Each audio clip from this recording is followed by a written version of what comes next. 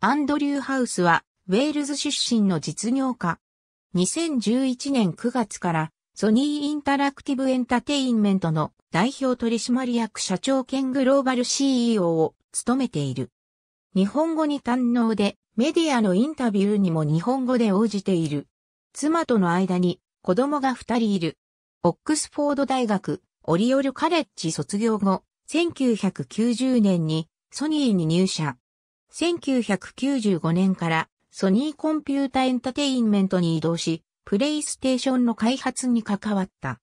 1996年から2005年までソニーコンピュータエンタテインメントアメリカのマーケティング部門と副社長を務める。2005年からソニーコンピュータエンタテインメントヨーロッパのマーケティング長を務め、2011年8月まで社長の座にあった。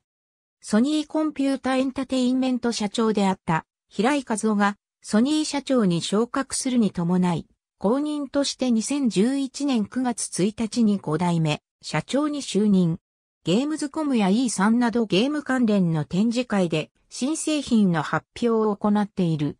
2013年11月のプレイステーション4発売時にはニューヨークで行われたイベントに登場した。ありがとうございます。